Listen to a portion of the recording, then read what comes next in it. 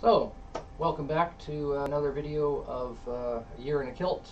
Um, this is, I'm going to be doing a uh, unboxing of a couple kilts.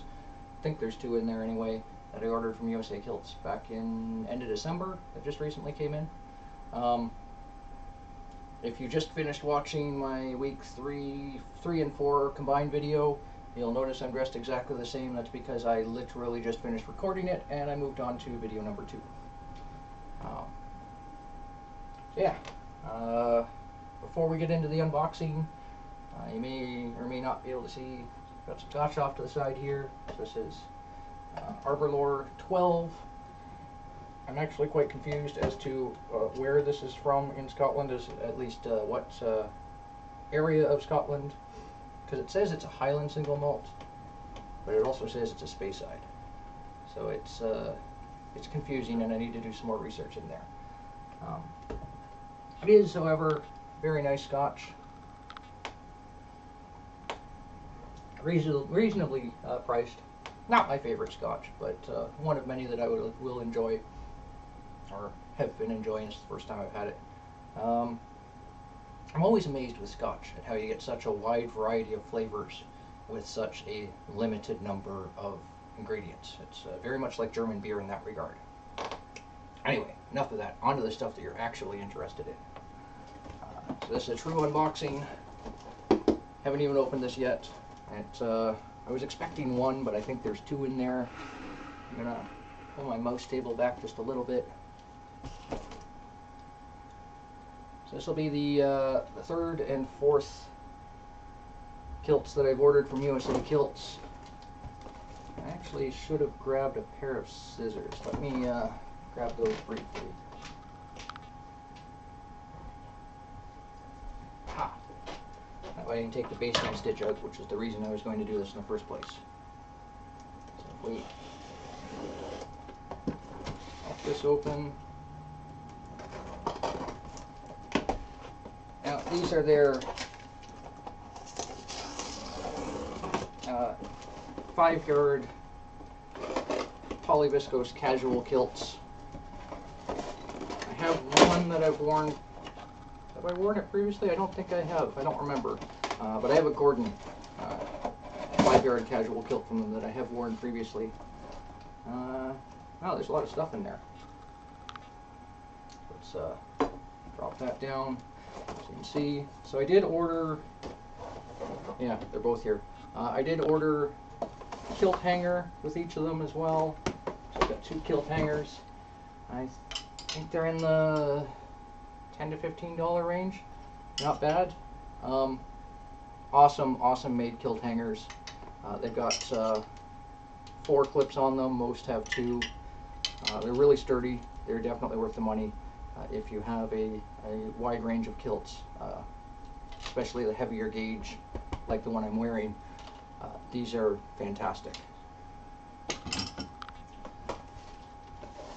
We got some candies, a couple business cards.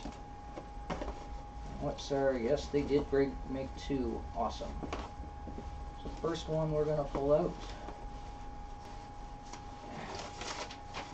More paper It's just a, uh, ah, yeah, just a listing of what's in here.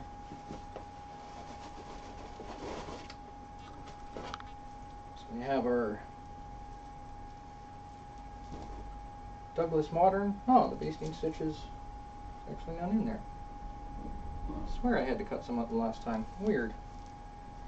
Uh, so there's the uh, Douglas Modern. Five yard polyviscose casual kilt from USA Kilts. And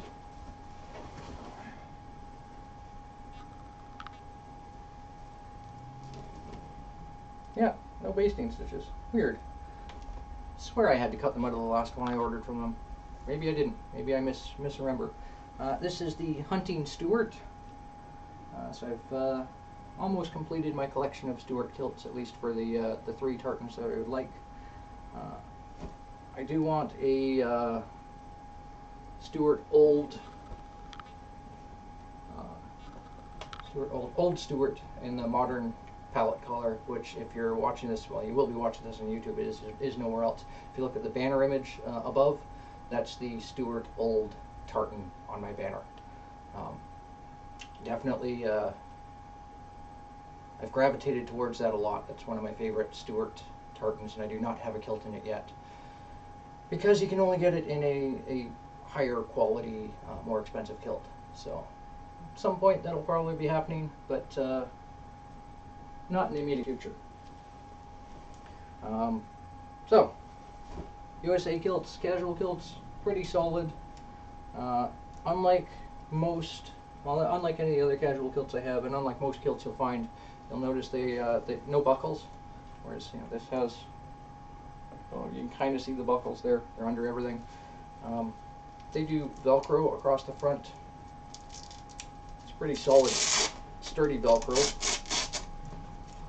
and that allows you to uh, allows them to save a little bit on the material. It makes it a little more uh, flexible, uh, versatile. That's the word I'm looking for. Uh, so you can get different waist measurements out of uh, the same sort of stuff fairly easily without having to move the buckles around very much. And uh, as these are machine washable, they're you don't have to worry about the the buckles, the leather in the buckles wearing out over time in the machine if you do wash them. Um, well, when you do wash them, I should say. Uh, so yeah, notice you've got your uh, back of the kilt there, inner apron with the velcro across the top, outer apron, folded over. Um, they do have options on their website when you order these. All of these are custom made, so there's options for things like uh, patch that you can get sewn on down there or not. Uh, and they give you a couple different options when it comes to uh, belt loops. Uh, you can go with the uh, the wide kilt belt loops. You can go with the narrower jeans belt loop. Uh, normally, they have two on the front and one on the back. The one on the back's for your, your sporran to keep your sporran up. Um, what I do find weird about that configuration, because I haven't seen another company do that sort of configuration when it comes to um, uh, whatchamacallits, uh, belt loops. Um, I find my sporran sits a little funny. The other casual kilts I have uh, have two loops in the back and that's it, and they're they're spaced about about that far apart. But you can picture that on the back of me. Uh, and then of course this kilt and my my Goodwill kilt don't have any loops at all for belt or for sporran, which I find kind of annoying because the belt shifts around all the time, and I'm constantly, when I, especially when I sit up or, or go from sitting to standing a fair bit, um, it doesn't keep things in place too well. Um, it would be nice to have something just to keep it down at the back so my belt wasn't constantly popping up. That said, there doesn't seem to be a standard for those, which is kind of weird. You'd think there would be a, a standard, and I'm sure uh, Rocky and the guys at USA Kilts have gone with the two-in-one configuration for a variety of reasons. I, I'm not entirely sure what those reasonings are, but I'm sure they're well thought out as most of their design choices and their products are. Uh, highly recommend them if you're looking at uh, cat more casual polyviscose weight kilts. These are 100 bucks US, so about one 160-ish Canadian uh, with shipping and everything all in, including the conversion rate It's not bad. Uh, best you're going to find for a, a cheap daily wear kilt. And if you spill coffee on this, you can at least throw it in the machine. And if it gets too heavily damaged or wears out, it's not the end of the world. Whereas if, you're wearing the more expensive, and this isn't the more expensive end, uh, eight yard wool kilts, you're looking at five to seven hundred dollars, uh, depending on where you go, for for a nice kilt. Um, and those you don't want to wear every day. Uh, I'd be worried about spilling coffee or any of the multitude of things that can get spilled on your clothing at any one given point in time. So these, absolutely fantastic. Definitely going to be getting a lot of use out of both of these in addition to the, uh, the other kilts that I have. Um, yeah, thank you all for watching. Have an awesome week.